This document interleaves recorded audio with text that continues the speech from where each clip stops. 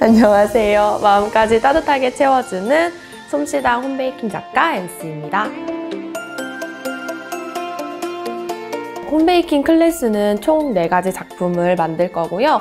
첫 번째로는 corn 옥수수를 이용한 corn scone, 두 번째로는 구겔호프 3종 만들어 볼 거고요.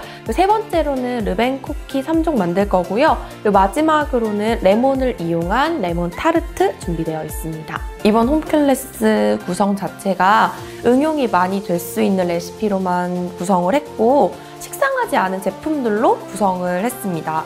이미 베이킹을 취미로 하고 계신 분들이나 처음 베이킹을 시작하시는 분들도 어렵지 않고 쉽게 quality 있는 작품을 만들 수 있기 때문에 많이 수강해 주셨으면 좋겠습니다. 차근차근 페이스에 맞게 동영상 보시면서 저랑 함께 하시면 절대로 실패란 없습니다. 엔스 베이킹 솜씨당 온라인 클래스 많이 찾아와 주세요.